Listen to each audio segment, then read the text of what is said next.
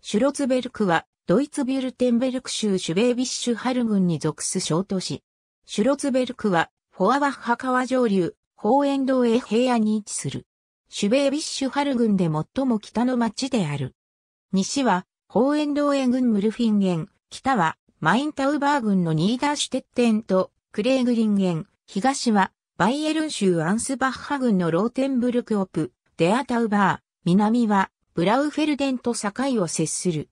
現在のシュロツベルク市は、バーデンビュルテンベルク州の市町村再編の時代に、多くの市町村が合併してできた。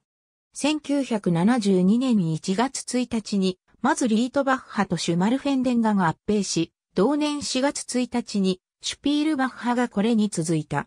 翌1973年1月1日に、ロイツェンドルフとバルテンシュタイン市も合併した。シュロツベルク自身はこの市の中に含まれていた。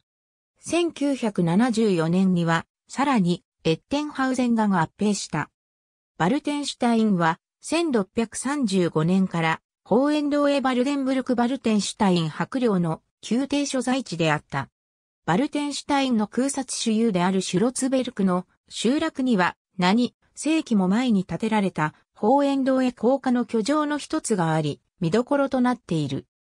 この他にも1614年から1618年に、ホーエンローエ・バイカースハイム侯が建設させたプロテスタント教会があり、大変に見応えがある。